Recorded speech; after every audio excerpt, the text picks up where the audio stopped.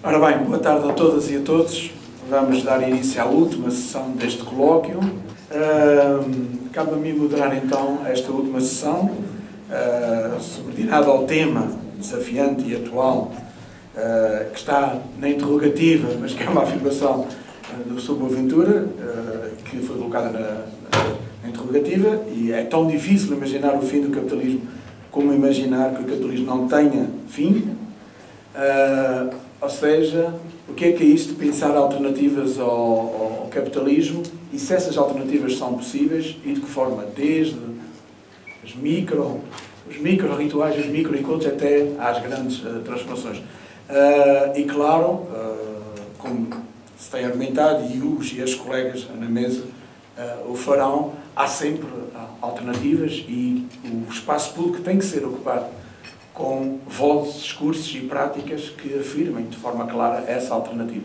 Um, a primeira uh, colega a falar será a Patrícia Vieira, que está ali, né, que é professora associada de Literatura Comparada, de Espanhol e Português e de Estudos de Cinema na Universidade de Georgetown e investigadora FCT no, no, no SES, no Centro de Estudos Sociais da Universidade de Coimbra.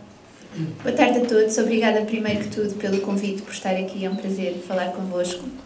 Um, o título da minha intervenção vai ser O fim do planeta e os limites do capitalismo, e por causa do tempo eu vou começar imediatamente uh, para depois poder, podermos ter algum, algum espaço para perguntas. Apreciar o legado da Revolução Russa 100 anos depois implica considerar não só as conquistas e as derrotas da União Soviética, mas também as ideias que ficaram latentes por explorar ou por desenvolver no comunismo histórico. Este é talvez o sentido mais instigante da expressão hipóteses emancipatórias usada no título desta conferência. Para além de ponderar os avanços que resultaram do movimento iniciado em 1917, em campos, por exemplo, como a educação, a investigação científica ou a saúde, cabe-nos refletir sobre as possibilidades abertas por este evento, sobre aquilo que nos permitiu pensar ou seja, cabe-nos reconhecer que a Revolução nos abriu o pensamento e nos permitiu encarar como possíveis formas de estar no mundo, de organização política, económica e social que até então pertenciam apenas ao reino da ficção. Uma destas hipóteses emancipatórias, uma destas ideias que a Revolução nos permitiu contemplar como possíveis, é uma noção alargada de comunidade e do que é comum. Trata-se aqui de determinar o que deve ser tratado como sendo da comunidade, como sendo propriedade comum, ou melhor ainda, como não sendo de todo propriedade, como sendo algo que existe independentemente da lógica de meios e de fins que subjaz todo o conceito de propriedade privada. Mas talvez mais radicalmente ainda, 1917 levou-nos a redefinir a comunidade e aquelas e aqueles que dela fazem parte.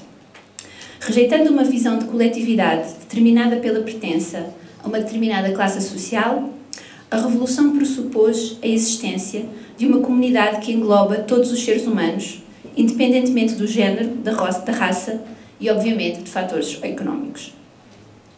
Com efeito, esta foi talvez a hipótese emancipatória da Revolução Russa, na senda de um humanismo que remonta pelo menos ao Renascimento. A igualdade dos seres humanos, todos parte de um mesmo conjunto. Trata-se aqui não apenas de uma igualdade formal, como foi o caso na Revolução Francesa, na qual se pretendia primordialmente atingir a igualdade de direitos, a igualdade perante a lei. Portanto, não era uma igualdade formal, mas sim uma igualdade económica baseada precisamente naquilo que é e deve ser usufruído em comum por todos. Como herdeiros que todos somos das hipóteses emancipatórias de 1917, compete-nos reconfigurar esta noção de comunidade para o nosso momento histórico, partindo das possibilidades abertas pela Revolução, mas não nos limitando somente a elas. O que eu vou propor aqui é um alargar da ideia de comunidade a seres não humanos. Há animais, plantas e mesmo a outras entidades, como rios, mares, montanhas e florestas. Não deixando para trás as outras lutas por uma verdadeira comunidade humana justa e igualitária, a luta contra disparidades económicas, o neocolonialismo, a violência de género, a discriminação racial e tantas outras que vários colegas e colegas foram mencionando ao longo deste Congresso. Penso que é urgente, no contexto da crise ecológica que atravessamos, repensar a noção de comunidade para além do Homo sapiens. Por outras palavras, há que acrescentar a categoria espécie a todas as outras assimetrias que o comunismo nos levou a questionar. Estamos neste momento, de acordo com o número crescente de biólogos, a atravessar o sexto período de extinção em massa de espécies na história da vida na Terra. O aquecimento global põe em risco quase todos os ecossistemas do mundo e a destruição ou poluição em grande escala de vastas áreas do globo ameaça a existência tanto de humanos como de não humanos. Só uma mudança decisiva na nossa ideia de comunidade e do que temos em comum com os seres não humanos com os quais partilhamos este planeta. Portanto, só uma mudança decisiva nesta ideia de comunidade, partindo da concepção inclusiva de comunidade inaugurada pelos ideais do comunismo, nos levará a uma relação mais equilibrada com o espaço que habitamos, com o nosso oikos em grego ou com a casa que todos temos em comum. Este repensar da ideia de comunidade prende-se com a pergunta que serve de mote a esta mesa. É tão difícil imaginar o fim do capitalismo como imaginar que o capitalismo não tenha fim? Slavoj Žižek já afirmava há mais de 20 anos, na introdução ao livro Mapping Ideology, isto é uma citação, que parece mais fácil imaginar o fim do mundo do que uma mudança muito mais modesta no modo de produção, como se o capitalismo liberal fosse o real que sobreviverá de alguma forma, mesmo no caso de uma catástrofe ecológica global. Zizek referia-se, como sabemos, aqui a uma observação de Frederick Jameson, nomeadamente que nos parece hoje em dia, neste momento histórico, muito mais provável que ocorra um apocalipse natural, causado pelos seres humanos num futuro próximo, do que termine o capitalismo. Ou seja, parece-nos mais fácil pensar o fim do planeta do que o fim uh, do sistema capitalista. Basta lembrar alguns livros e filmes populares nos últimos anos para constatar que esta observação sobre a ameaça de um apocalipse ecológico continua a ensombrar a nossa imaginação nas primeiras décadas uh, do nosso século. Um exemplo bastante conhecido, o filme Interstellar, de Christopher Nolan, no qual uma equipa de astronautas procura um novo planeta habitável, já que a vida na Terra se tornou inviável. O filme termina numa colónia humana, criada perto de Saturno, na qual se replicou a sociedade americana, incluindo, podemos imaginar, uma economia capitalista. Portanto, a ideia de que não estamos confinados aos limites do nosso planeta, que podemos continuar a nossa expansão e o crescimento económico necessário à sobrevivência do sistema capitalista ad infinitum, é uma das forças ideológicas, eu diria, mais poderosas das últimas décadas. Alimentada por projetos como SpaceX, que provavelmente conhecem do bilionário Elon Musk, a esperança numa colonização de Marte e depois de outros planetas, recria uh, hoje em dia os mitos da expansão europeia e dos primeiros tempos de colonização que tornaram possível o advento do, do, capitalismo no início da modernidade. Portanto, estamos a viver como se fosse uma nova era de colonização, ideologicamente, pelo menos, não é? agora virada para o espaço.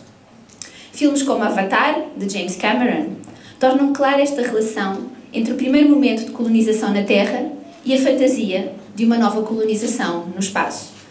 Uh, para aqueles que viram o filme, recordam certamente que uh, narra uh, uma empresa que subvenciona o estudo de uma população indígena que habita um astro distante, de forma a melhor poder extrair os minérios no subsolo daquele planeta. Não é? Clara a relação uh, com a conquista e exploração da América Latina. A aventura espacial é, assim, uma forma de salvar o capitalismo, mesmo no caso do fim dos recursos naturais que alimentam a economia de mercado na Terra. É uma recusa de admitir que o capitalismo possa ter um fim, mesmo quando se torna cada vez mais óbvio que estamos a atingir os limites naturais do nosso planeta. O reverso da medalha desta crença num capitalismo triunfante e que não terá fim, que continuará em Marte e depois noutros planetas, é a distopia de uma devastação planetária do planeta Terra.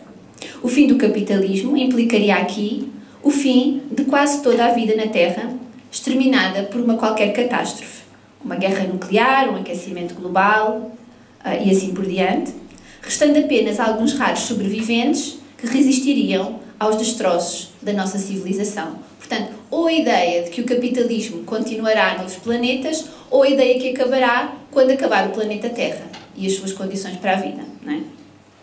Um exemplo deste cenário é o livro The Road, uma, um romance de Cormac McCarthy, que recebeu, recebeu o prémio Pulitzer em 2007 e foi depois adaptado também ao cinema.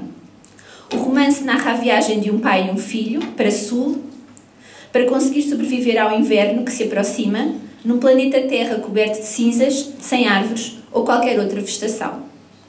O filme The Book of Eli, ah, de 2010, é outro exemplo deste fim distópico do capitalismo. Neste caso, a religião é apresentada como uma forma de redenção da humanidade, uma alternativa aos valores capitalistas numa sociedade pós-apocalíptica. Portanto, temos então a visão de uma economia de mercado à escala interplanetária, que tem, como vimos, uma forte carga ideológica, que nos procura inculcar a ideia de que o capitalismo é eterno e sobreviverá ao esgotamento dos recursos finitos do nosso planeta, portanto, esta é uma das hipóteses, ou temos as distopias pós-apocalípticas que, a meu ver, adotam também uma postura ideológica reacionária. Ou seja, o fim do capitalismo é apresentado como possível apenas no contexto de uma catástrofe planetária.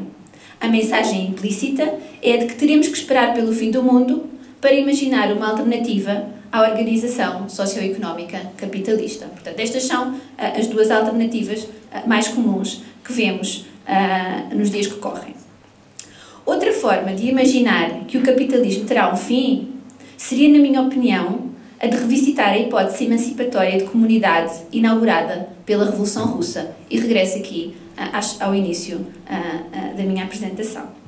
Recusando tanto a ideia de que o capitalismo não terá um fim como a de que o fim do capitalismo só terá lugar num cenário apocalíptico, proponho a noção de uma comunidade alargada, uma comunidade interespécies, como forma alternativa de imaginar que o capitalismo terá um fim. Uma reflexão sobre comunidades interespécies leva-nos necessariamente a considerar o que todos nós, seres que habitam este planeta, humanos e não humanos, temos em comum. Os vários filósofos que se têm dedicado a definir o que é uma comunidade procuram desde há muito identificar as raízes desta ideia, que muitas vezes não se encontram numa propriedade ou possessão que todos partilhassem, mas sim numa ausência ou numa falta. Ou seja, é como se a comunidade se estruturasse em redor de um vazio e não da plenitude. O filósofo italiano Roberto Esposito, por exemplo, propõe um conceito de comunidade baseado, e isto é, é uma citação, numa falta, um limite, configurado como um ónus. Todas aquelas e aqueles que pertencem a uma determinada comunidade passam pela mesma experiência de inadequação e de insuficiência. Alfonso Linguis vai ainda mais longe que Exposito e fala de comunidades, e cito, daqueles que não têm nada em comum. Portanto, uma comunidade daqueles que não partilham realmente nada. Linguis dialoga, como sabemos, com a filosofia de Heidegger, na medida em que vê a morte como o único denominador comum entre pessoas que são a todos os respeitos muito distintas. O que nos une é para Heidegger, e isto é bem conhecido, o nosso ser para a morte, ou seja, a fragilidade da nossa existência. A ausência ou falta que Exposito menciona nos seus textos pode ser entendida assim como a impossibilidade de viver para sempre, e o ónus que ele discute é a nossa dívida perante a própria vida que nos permite existir. Filósofos como Esposito ou Linguis concentram-se exclusivamente em comunidades humanas, portanto, em comunidades de seres humanos. Mas poderíamos adaptar o seu pensamento para abranger também seres não humanos. Por outras palavras, a coexistência entre espécies, ou melhor ainda, a convivência, que é uma palavra portuguesa que não tem tradução direta em inglês, por exemplo, portanto, a ideia de convivência.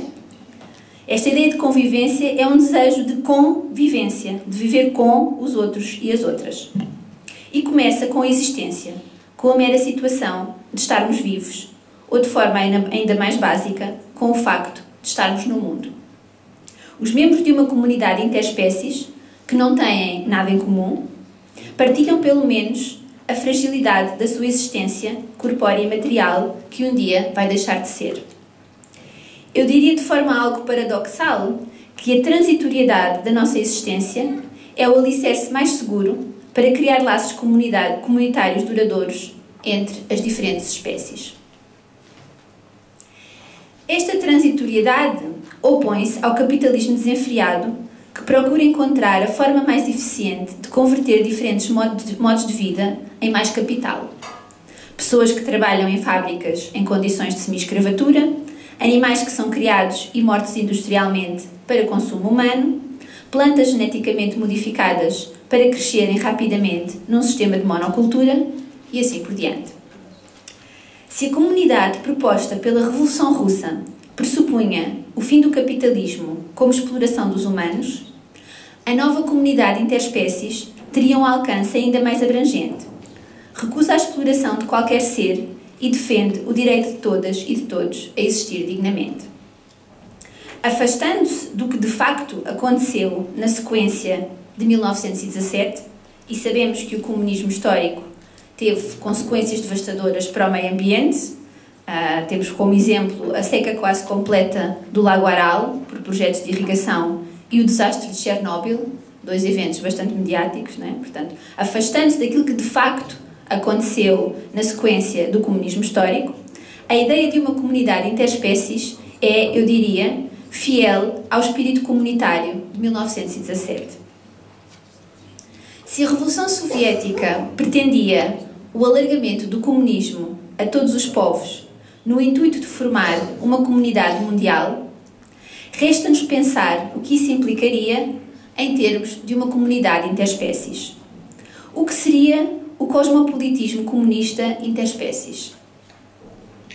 Para responder a esta pergunta, teremos que regressar brevemente, e à laia de conclusão, ao texto de Kant, Paz Perpétua, um ensaio filosófico. Para Kant, o direito cosmopolista, cosmopolita, como sabemos, alicerça-se na possessão comum da superfície da Terra. Isto é uma citação. Ou, outra citação, no direito à superfície da Terra que a raça humana partilha em comum. O ensaio de Kant é bem conhecido. É? O cosmopolitismo comunitário interespécies implicaria o alargamento do direito cosmopolita a seres não humanos. Isto significaria o reconhecimento de que humanos e não humanos têm uma possessão comum da Terra e o direito de a ocupar. A República Mundial Cosmopolita, Weltrepublik, que Kant menciona, seria assim, teria assim que incluir os seres não humanos. Seria uma república comunitária interespécies, ou melhor, eu chamaria uma res bios. Esta república comunitária interespécies pressupõe que o que todos temos em comum, o que é de todos e não pode nunca ser considerado propriedade privada a ser explorada por benefício de alguns é o próprio planeta. Esta noção de comunidade é assim incompatível com o capitalismo como sistema económico. A própria noção do que é o cosmos, do que é o mundo, neste cosmopolitismo comunitário interespécies, teria que ser discutida. Poderíamos pensar na criação de um Parlamento Mundial, um Parlamento de Gaia, que incluísse o ar, a água, a terra, a energia e todos os seres vivos, de acordo com a sugestão do filósofo francês Michel Serre. O cosmopolitismo comunitário interespécies seria o resultado de um debate a decorrer entre os membros deste Parlamento. Um debate para o qual teríamos que criar os procedimentos e a linguagem apropriados. A criação desta res bios comunitária seria o início do fim do capitalismo e um primeiro passo no longo processo de aprendizagem do viver em comum ou da convivência com outros seres humanos e não humanos com os quais partilhamos a Terra. Obrigada.